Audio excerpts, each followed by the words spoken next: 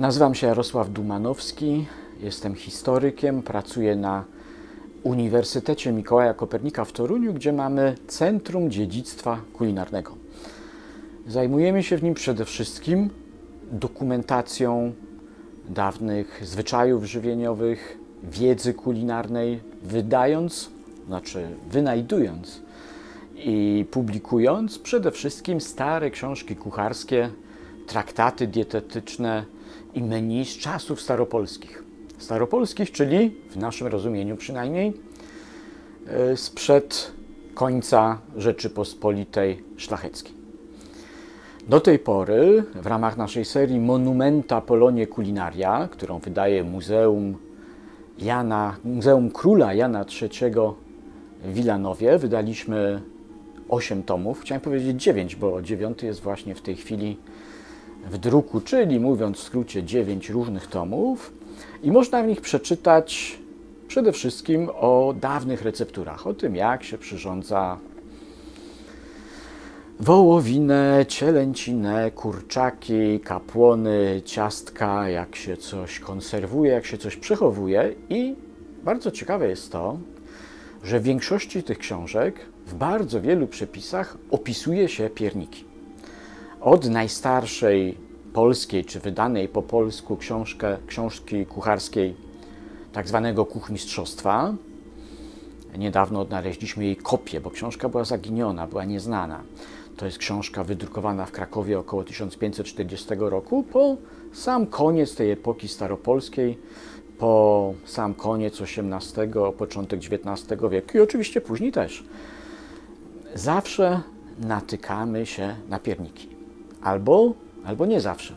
Ale to jest trochę tajemnica, która najogólniej rzecz biorąc polega na tym, że każde jedzenie, każda potrawa, każdy wyrób dawniej miało wiele nazw, wiele form i niekoniecznie było takie samo jak dzisiaj. To brzmi banalnie czy oczywiste, ale tak trochę siłą rzeczy wyobrażamy sobie, że jak mówimy piernik albo fasolka po bretońsku, albo nie wiem, tort, to będzie to mniej więcej to, co dzisiaj.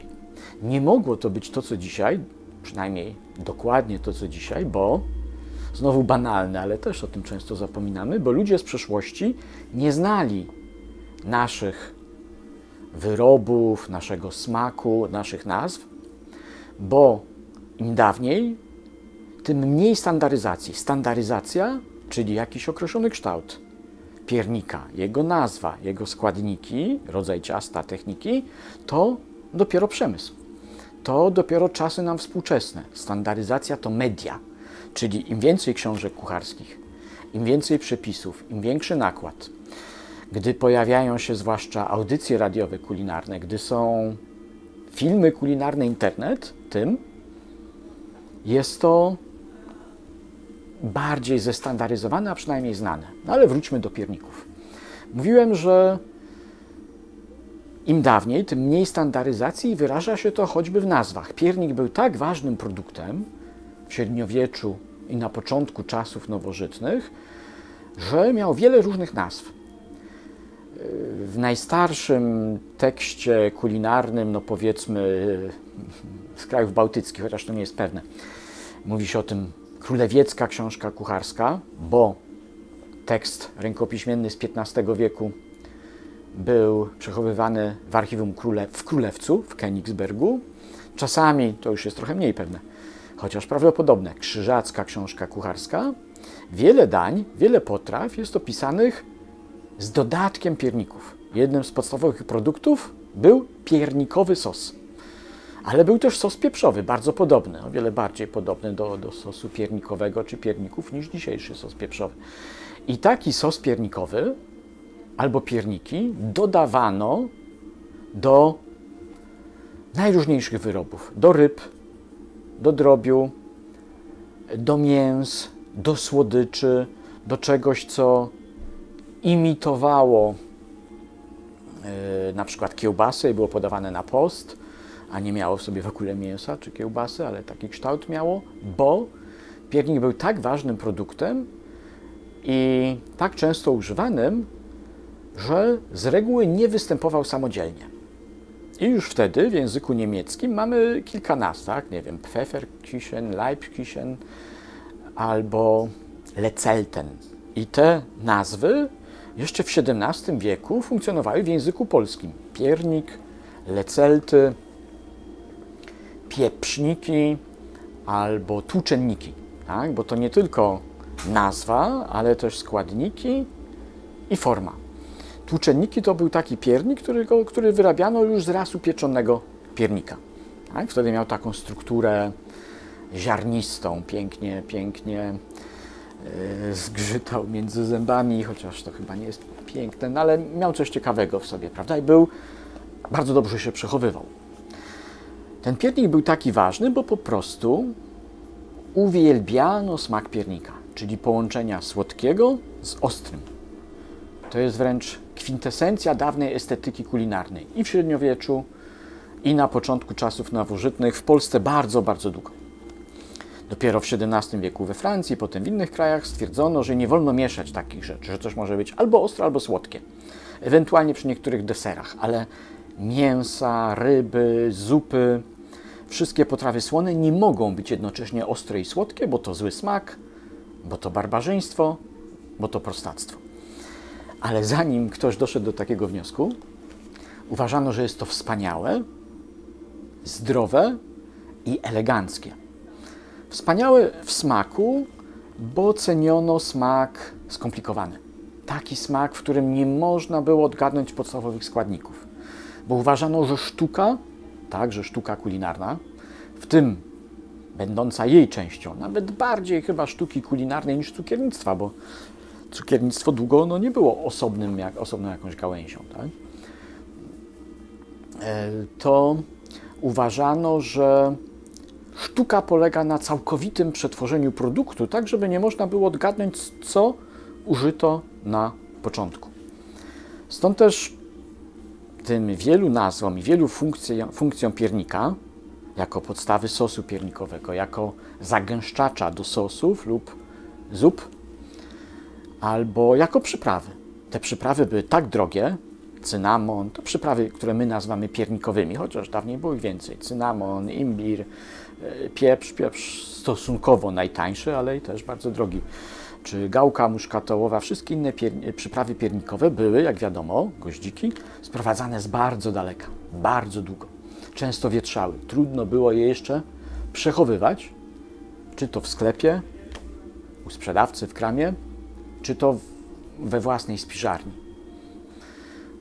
Narażali, narażano się na zwietrzenie, na utratę ich walorów, więc bardzo chętnie wypiekano pierniki, często właśnie bardzo ostre i stosunkowo mniej słodkie, które były takim podstawą po zmieleniu, były przyprawą, przyprawą już taką skomplikowaną, taką wieloskładnikową, wielosmakową, wielozapachową, a więc cudowną, a więc wspaniałą. I z tego względu były one wręcz nieodzowne w dawnej kuchni. Dla przykładu, yy, w książce kucharskiej z Krakowa pod tytułem Compendium Ferculorum albo Zebranie potraw, napisanej przez Stanisława Czernieckiego, kuchmistrza lubomirskich z 1682 roku, często jest mowa o miodowniku. Nie wiemy dokładnie, co to jest, to znaczy wiemy, co to jest miodownik, ale nie wiemy dokładnie, w jakim znaczeniu tego słowa używał Czerniecki. Generalnie albo słodkie ciasto na miodzie z małą ilością przypraw lub bez przypraw, albo no, piernik. W każdym razie ten miodownik występuje w wielu przepisach. Na przykład comber z miodownikiem, od razu w tytule, czyli wołowina E, gotowana w occie piwnym, w occie piwnym, e, w solance, potem jeszcze mm, właśnie doprawiona tartym miodownikiem z winem, octem, słodkością, czyli jakimś słodzonym owocowym przetworem, rodzynkami, migdałami, pieprzem, szafranem, cynamonem i limoniami. Limonie to też do końca nie wiemy, co to jest, bo to znowu słowo wieloznaczne. Najprawdopodobniej są to kiszone cytryny, bo, bo autor odróżnia limonie od cytryn. To dla niego jest coś innego. I to jest taki przykład zastosowania, tak? że, że piernik, czy tutaj miodownik, Może to jest taki sam słodki miodownik, ale uważano, że powinien być doprawiony jak piernik, bo potem jest cała seria ostrych, ostrych przypraw.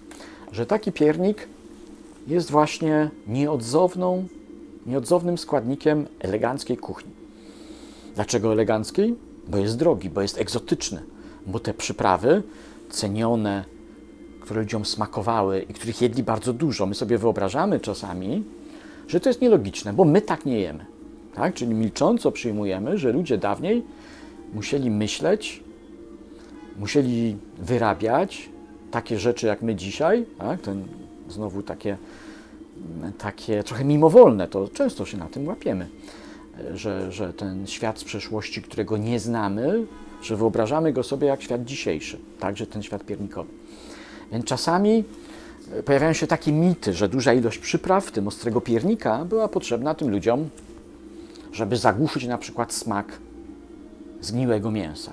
Jest to absurdalne, powstało to bardzo późno, bo, bo ktoś, kogo stać było na pierniki, na ostre, egzotyczne przyprawy, czyli rzeczy bardzo drogie, egzotyczne, trudne do otrzymania, cenione, modne i eleganckie, to na pewno go było stać na świeże lub żywe zwierzęta, które chodziły koło domu, a przynajmniej koło dworu w folwarku.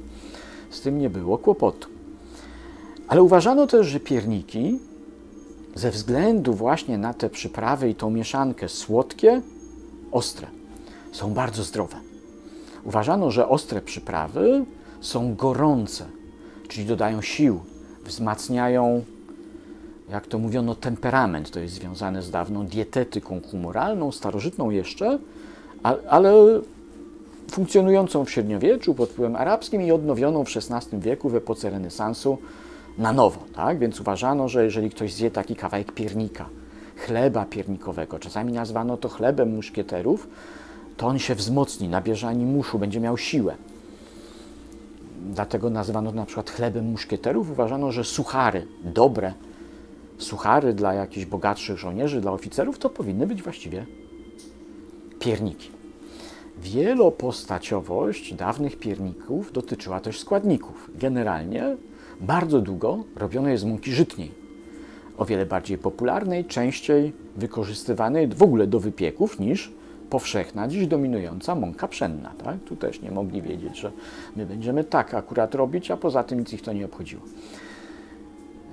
Dawało to trochę większy kontrast smakowy jeszcze, tak? słodyczy, trochę ostrej w smaku, ostrego w smaku wypieku żytniego i tych przypraw, ale też mąkę czasami zastępowano, mąkę czy to żytnią, czy pszenną, czy ich mieszanki, innymi wyrobami. Im dawniej, to nie tylko więcej nazw pierników, więcej przypraw, więcej zastosowań pierników, ale w ogóle więcej produktów. Tak? Im bliżej nas, tym paradoksalnie jemy coraz mniej. W sensie gatunków, odmian, w sensie zróżnicowania. Natomiast w sensie ilości kalorii to jemy dużo, dużo więcej, oczywiście. Dlatego na przykład y, przez jakiś czas były popularne pierniki z bru. Z bru, czyli z takiego, no nie zboża, no, z rośliny podobnej do prosa, która formalnie nie jest zbożem, ale ma takie zastosowanie, która już w XVI wieku wyszła z użycia, ale jeszcze w XVII wieku była stosowana. Uwielbiano wręcz coś, co nazywano piernikami, ale robiono je z masy owocowej, tak? czyli pierniki jabłkowe samej masy jabłkowej, czy trochę zagąszczonej mą mąką, tak? z takiej masy jabłkowej, mocno podsuszanej, wypiekanej. I tu uważano to za pewną formę konserwacji, za przysmak sam w sobie, za taką zagryzkę, wręcz do wódki, nalewki, wina, ale też taki koncentrat, koncentrat do sosu, tak? coś, co tak jak kostkę rosołową wrzucano do sosu, zwłaszcza do drobiu. E, bardzo popularne były pierniki z innych owoców, z pigwy. Nie z pigwowca japońskiego, dzisiaj popularnego, tylko z pigwy, rośliny śródziemnomorskiej, która ma naturalną moc taką yy, żelowania, tak? stabilizowania produktu. Yy, w Polsce robiono chętnie pierniki z głogu, tak? z takiej no, dzikiej rośliny, a więc darmowej. Dopiero gdzieś w końcu XVIII wieku te pierniki z kuchni zaczynają się trochę wycofywać, nie są takie modne, ale w pewnych dziedzinach kuchni stosowano je szczególnie długo. ponieważ uważano, że są zdrowe, ponieważ uważano, że ogrzewają naturę, to stosowano je zwłaszcza przy rybach, przy potrawach rybnych, a więc postnych, zwłaszcza takich rytualnych. Do XX wieku przetrwał zwyczaj podawania karpia wigilijnego w sosie piernikowym. I to jest relikt tego, tak? To, to mamy, mamy takie, takie przepisy, czy od XVIII po XIX wiek, jeszcze po XX wiek przynajmniej na ziemi chemińskiej. Chociaż na Śląsku też znano taki zwyczaj, ryba z miodownikiem. Yy, jakimś tam odbiciem tego jest znana gdzie niegdzie jeszcze wersja karp w sosie szarym, ale powszechnie uważano, że karp w pierniku, karp w sosie piernikowym to klasyczne, typowe, symboliczne danie wigilijne, jak sam piernik. Post i rytuał święto oznacza większe przywiązanie do tradycji, stąd nic dziwnego, że piernik przetrwał akurat tam i po dziś dzień kojarzy nam się bardzo mocno ze świętami Bożego Narodzenia. W XIX i XX wieku piernik się jakby trochę usamodzielnił od tego wykorzystania w kuchni, czy pierniki toruńskie, czy inne y, też mają wiele wersji. Ciągle to było ciasto świąteczne, mm, prezent, wyraz sympatii, czy wręcz miłości. Często bardzo bogato zdobiony z wielu składników, z cytrusami, to znaczy skórkami kandyzowanymi cytrusów, e, migdałami, orzechami i z wódką, nie po to, żeby się napić, tylko to był spulchniacz, bo po upieczeniu alkoholu w tym żadnego nie było. Chociaż trzeba było bardzo uważać, by taki piernik przy wyrabianiu się nie zapalił.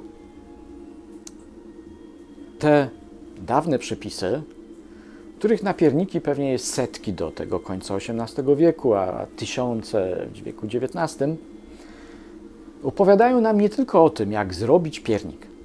Opowiadają nam o tym, co ludziom smakowało, czyli o estetyce, tak? o trochę innym rozumieniu smaku, o tym, co uważali za zdrowe, o tym, co uważali za eleganckie, w jaki sposób się wyróżniają, tak? czym się różnią ludzie z elity od biedniejszych, jak ze sobą rywalizują. Jest taki no, pocieszny wierszyk w żonie modnej Krasickiego. Kiedy żona modna, wychowana w wielkim mieście, zapatrzona na zachodnie wzory, nie chce mieszkać w dworku krytym, nie pamiętam już czym, czy to no, pewnie nie słomą, ale gątem, drewnianym dworku modrzewiowym.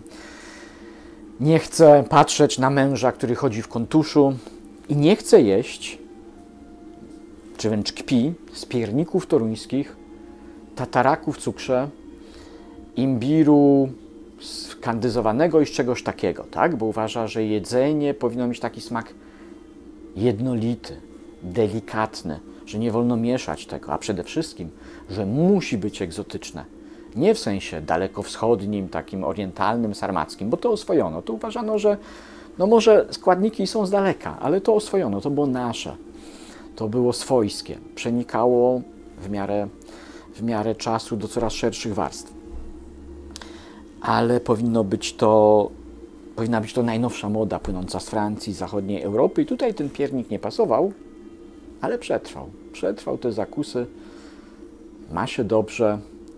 Jeszcze w XIX, w XX wieku nawet francuscy mistrzowie zachwycali się różnymi polskimi daniami, zwłaszcza tymi rybnymi, z dodatkiem pierników.